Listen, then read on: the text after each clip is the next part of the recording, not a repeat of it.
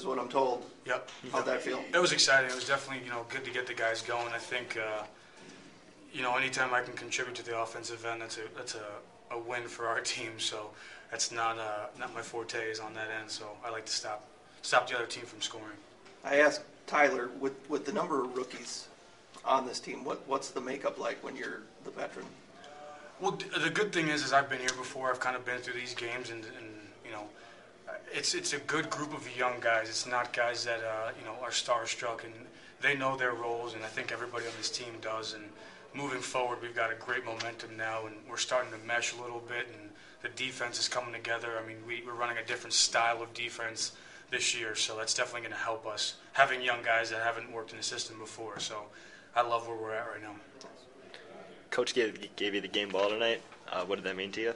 It was, you know, it's great. It was my first game ball ever, so was, that was kind of cool to see. Um, you know, again, it, was a complete team effort. I think he just gave it to me because it was my first goal, and he was just uh, trying to be nice. But uh, you know, Benny's goal there at the end. I mean, that was incredible. He was kind of getting shut off most of the game, and for him to pull out a goal like that is is unbelievable. So it's hard. You know, the defense played amazing, and uh, you know, it's, kind of hard. I think Lindsay was just uh, kissing my ass or something. My butt, sorry.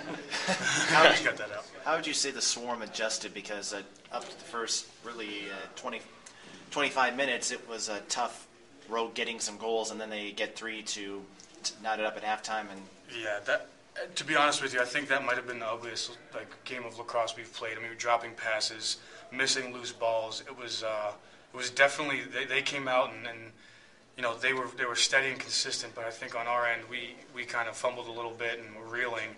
But to pull out a win like that with the the start we had is tremendous. It shows the character and resiliency of our young team. So. We talked to Tyler to get the rookie perspective, but as a veteran, as the OT wears on and keeps going on and on and on, how do you keep the mindset to just keep going?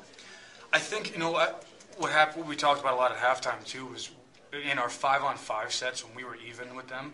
I think we played them pretty well, and I think as long as we committed to getting in and, and playing them five versus five, that we were going to be successful. I mean, they got a couple okay looks, but you know, as long as we stayed five on five, I think we had a better chance of winning that game, and we did. So Thanks. That's awesome. Thank you. Yeah, thanks, guys. Appreciate it. Yep.